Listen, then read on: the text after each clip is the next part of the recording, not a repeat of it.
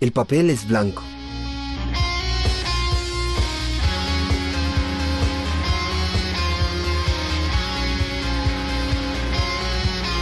El mundo es de colores. Como Postobón.